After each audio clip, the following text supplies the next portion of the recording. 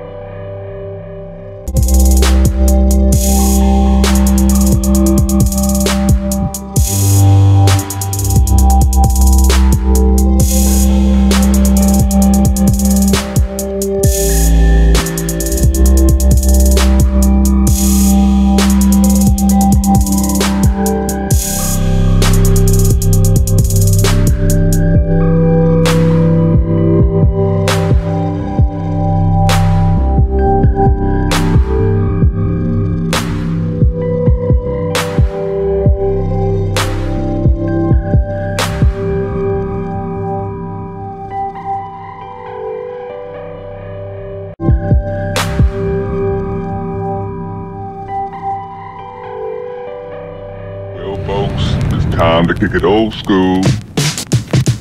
Uh, so you can feel cool.